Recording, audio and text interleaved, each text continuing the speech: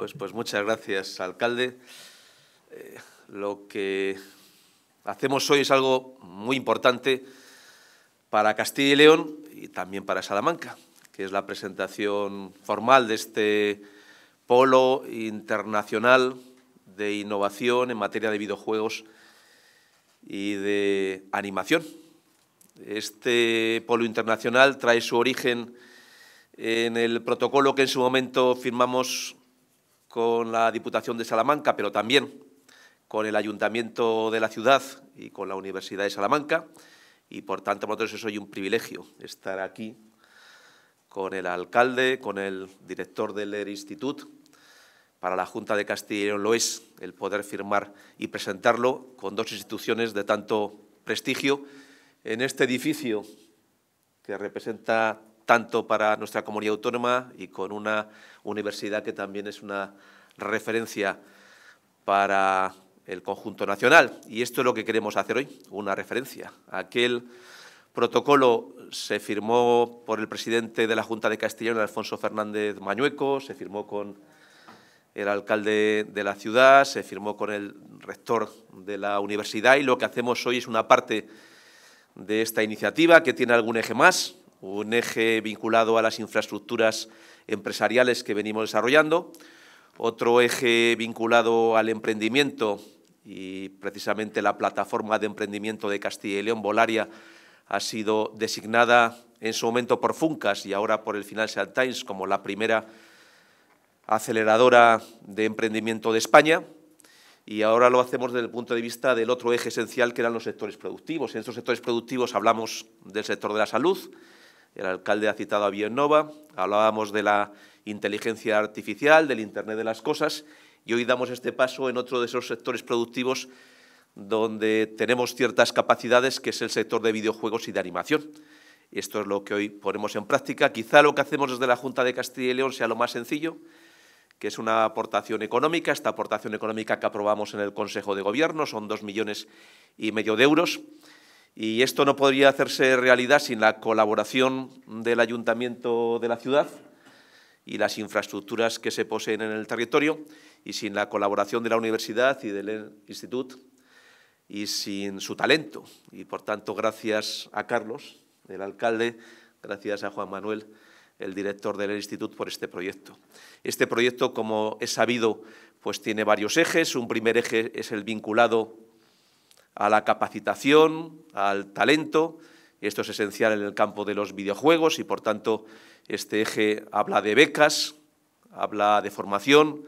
habla de talleres y en este ámbito, pues cada uno de los años de desarrollo del programa,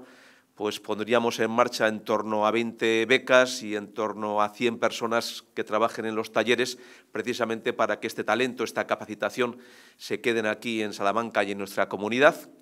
Un segundo eje es el vinculado a la innovación, es esencial, y aquí se incorpora ese taller y este laboratorio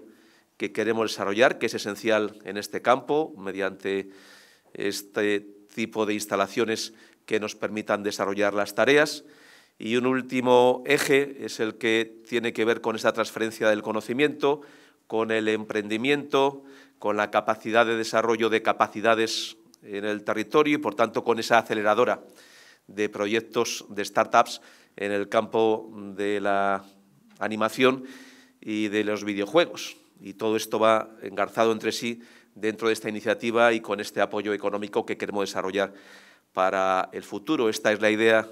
que hoy planteamos, que hoy desarrollamos, que Juan Manuel Corchado pues, planteará con más detalles, sin lugar a dudas. Pero sí quiero significar un último aspecto, que si este es un polo internacional, un hub internacional, también lo es desde el punto de vista de nuestra comunidad autónoma. Y, por tanto, no queremos que solo sea algo que se quede aquí por y Salamanca, sino que tenga esta visión internacional y también esta visión autonómica, que desde aquí pues, se irradie capacidades, talento y desarrollo en el sector para todo el territorio de nuestra comunidad autónoma y se haga como referencia desde Salamanca y, por tanto, que todas las empresas, emprendedores y talento, iniciativas que se puedan desarrollar, pues se puedan implantar en nuestra comunidad autónoma. Nosotros estamos firmemente comprometidos con este proyecto, como lo está el resto de instituciones,